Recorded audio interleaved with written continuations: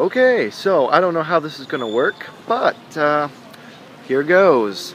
So it's Saturday, May 12th, and I just wanted to bring you a quick update. Uh, first of all, in case you don't know, tomorrow is Mother's Day, and I love my mother, so happy Mother's Day. Uh, I'm here on top of YWAM, and I just wanted to bring you YWAM Battambang, and I just wanted to bring you a quick update of some awesome things that were happening. Thought a video update might be a little more exciting.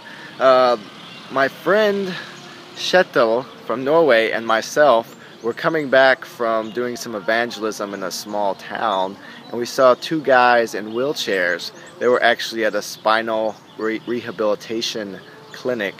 We stopped and talked to them and prayed with them. They couldn't really understand us, and we really couldn't understand them, so we got a translator and came back.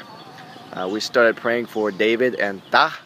Da could not move his feet at all. Uh, we started praying for him, and he said he felt a little tickle in his leg. So we're like, okay. We started praying for his leg and tickling his feet, and his toes started moving. So we're like, yes! And we started praying more, and uh, then he was able to pick up his feet. So we were just like, oh, this is awesome. And then we're like, hey, you want to try to stand up? We know you're being healed, so let's do it. Uh, and he was actually able to walk. We still supported most of his weight, but he was able to take steps and walk. And I say that's a healing from God because he wasn't able to move his feet at all before we prayed for him. Uh, and that, that was Da. Uh, David, uh, we prayed for him, and he said, Oh, I can walk like five steps before I get too weak and I can't walk anymore. Uh, we prayed for him, and he was able to take like 70 steps, like all over the place, before he even got tired. So God is healing him as well. Um, they actually came to a gathering we were having that night, and they, they both got saved.